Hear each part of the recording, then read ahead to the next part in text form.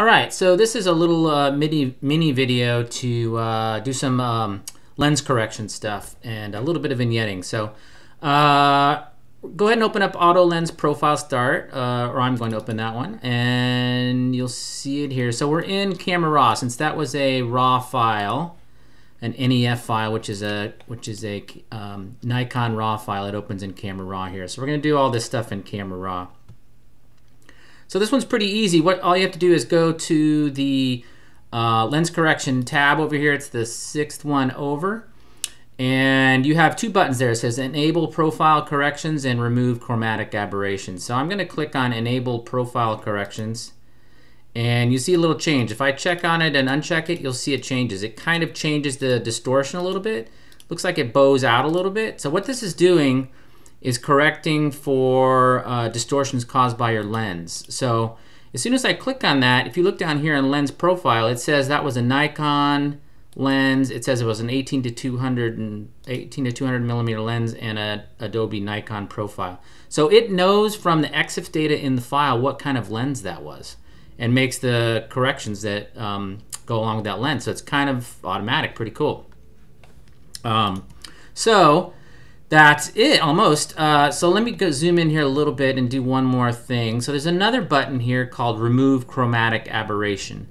So what that is, chromatic aberrations is sometimes, you don't see it too much on this image, but I'll, I'll show you anyway. Um, you may get some purple or green, eh, usually purple fringing along the edge of high contrast edges. And uh, all you do to get rid of that is turn on remove chromatic aberrations. And I don't think I see, I do see a tiny bit difference on my screen, but you probably can't see it in the video. But if you do see that kind of fringing, go ahead and turn that on and it will try to get rid of that for you. Um, so that's that. If you didn't like the correction that the um, profile corrections made, you could always go down here to correction amount and work with distortion to sort of manually dial it in. And you can also work with vignetting to manually dial that in. So if you wanted to do it that way, you could. Uh, the other thing that can happen is maybe you don't know, maybe the, the image does not have a lens profile. Maybe it's a JPEG. Maybe it's something that doesn't have any um, EXIF data in it. Um, or it could be a, yeah, it could be a JPEG, or it could be something else with no EXIF data. So I'm going to turn that off, and we're back to where we started. Actually, I can hold down Option or Alt and click on Reset. And now we're back where we started. So uh, what I want to do is enable, I want to go to Manual Corrections over here and it's under this tab next to profile. And there I get a different distortion slider and I can do that sort of manually. So I'm gonna go um, just do what I want there as far as like making those line making it look less distorted whatever I think. Obviously I can go really far and make it look that way or I can go that way. And so it's basically barrel distortion I think is what's correcting. So I think maybe it looks pretty good like that. It's not much of a correction actually. And then here's the vignetting um, if I want to go to the left, it adds dark vignetting around the corners. If I go to the right, it adds light. So most lenses, especially when they're wide angle, will give you a little bit of light or dark vignetting on the corners. So I'm going to go a little bit of plus here under vignetting. And that will brighten up. If I go back to zero, you'll see, you can double click on this to go to zero. There's a little bit of darkness around here in the corner. You can see it a little more over here. So I'm going to go a little bit plus until that kind of goes away. So I'm about plus 25-ish, but it's again, it's kind of up to you. So that's if you want to do a manual correction, you can go up here to the manual tab, uh, adjust the distortion here, and adjust the vignetting there. Um, so that's it. So I'm going to go back to profile actually and do it automatically. I'm going to enable profile corrections, remove chromatic aberrations, say done if I want to just apply those to the NEF file, or if I open the image, it'll open in Photoshop. So I'm just going to say done. All right. So that was the first one. Let's go to, uh, oh, since we were talking about vignetting, I wanted to show you how you can add it as an effect. So I'm going to open, I'm going to open this image called vignetting start. And one of the limitations is um, on the vignetting that we saw before is it doesn't work on a cropped image. Um, but that's, that's one point about it, but I really want to show you how it works here in the effects panel. So I'm going to go to effects, says FX there. And then down here at the bottom it says post crop vignetting. So I could crop this. Let's go ahead and crop it just a tiny bit, even though it's pretty tight already. I'm just going to crop it a little bit. Maybe like that. All right, so I cropped that a little bit. Now if I did the regular vignetting that I saw under the lens correction here, um, you see it's kind of outside the edge. It's not really uh, using the crop. So, or it doesn't, it, the crop is kind of outside. It's from the original image. So if I want to do post-crop vignetting, that's why it's called post-crop vignetting. I go to the effects tab. So now I'm in the effects tab.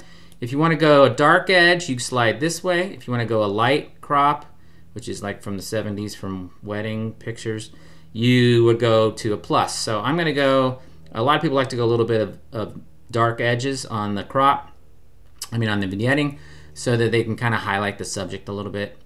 Um, as soon as I do that, I get a little bit darker around the edges, but I have all these other sliders come up. So let me show you what they do real fast. I'm going to slide the feather slider to zero. And what that does is turn off the softening of the vignetting. So here's the vignetting here. And now you can see what the other ones do a little bit more. So here's midpoint it basically changes the size of the uh, the vignetting or kind of where it starts and where it stops. So that's what that one does. Roundness, you can see it kind of rounds it off. It changes the shape. So you get this uh, changing shapes here with the roundness slider. So kind of in the middle is kind of the oval, right? And then feather we already saw, that will soften the edge of the of the vignette. So the more you go to the right, the softer it gets. The more you go to the left, it's a harder edge. So I'm going to go in a little bit there. And actually, let me leave it over at zero for a second. I want to show you highlights. So what highlights does, I'm not seeing it a ton here, but actually I am. So what it does is it preserves the highlight. And you can see up here in the mode or the style, it says highlight priority. If I slide to the right, it's showing me the highlights that are coming through outside the vignetting area. It's just a way to kind of see detail out there. Um, it's up to you whether you use that or not. I'm just going to leave it off. And then I'm going to go to uh, feather until I get it kind of what I wanted. Um, so there you go. There's post-crop vignetting.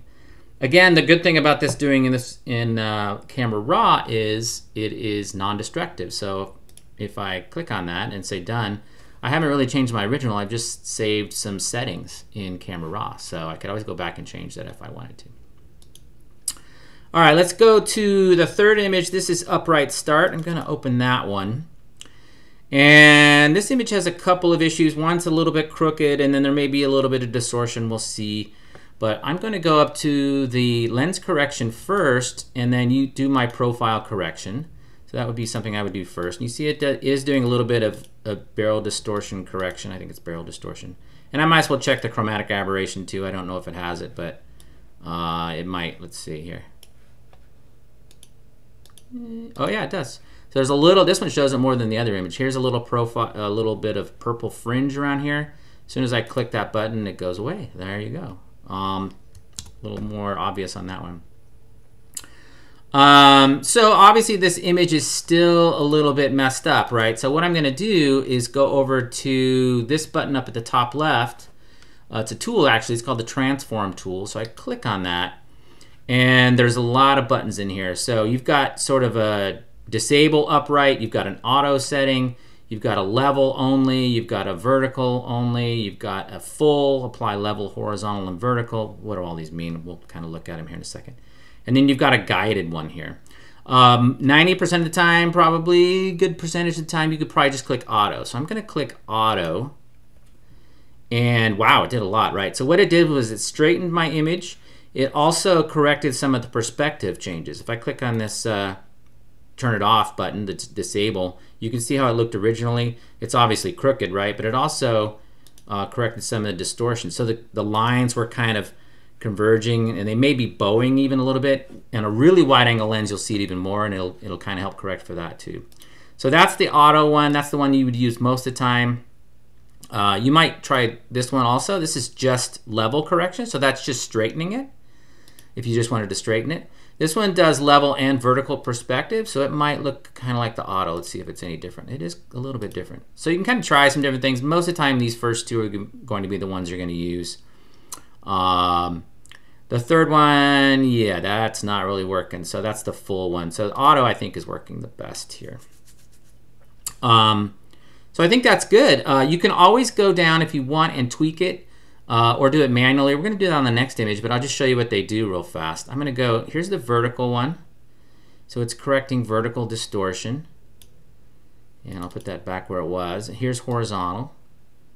So all this is uh, geometric distortions that you might get. Um, by the way, if you didn't want these image these distortions in your image in the first place, that's why people use, especially for architectural photography, they use um, field cameras. Basically cameras where the front and the back of the camera move independently, and you can correct for all this stuff when you shoot. Um, because you can change the plane of the front of the camera and the back of the camera where the film or the CCD is or the sensor. Uh, you can change all kinds of angles, move them up and down, sideways, tilt them, all kinds of stuff, and make these corrections in the camera. That's why when maybe some high-end architectural photographers, they may shoot this kind of stuff with a view camera that has those corrections, so they're not doing it in the software after. You can do it in the software after, but it might be nice to have it actually photographed correctly in the first place.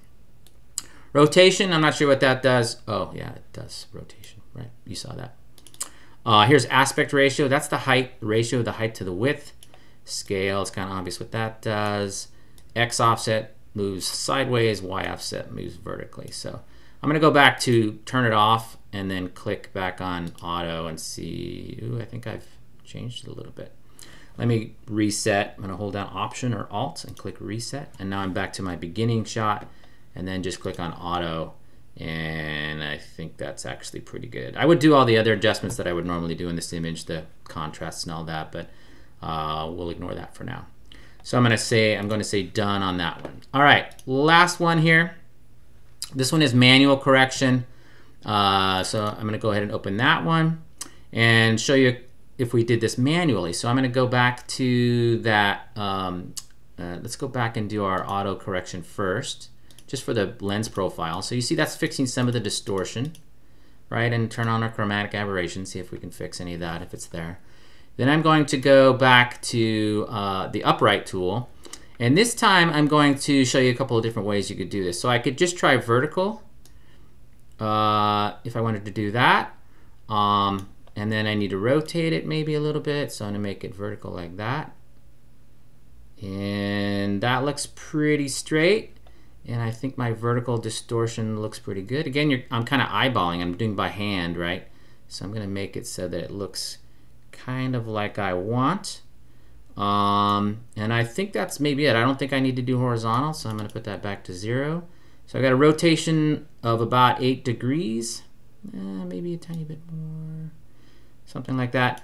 And then I've got a vertical of minus 25, and I'm, I'm not going to mess with any of these other ones. So I've kind of just done that manually if I don't get good results with the auto or one of these other settings.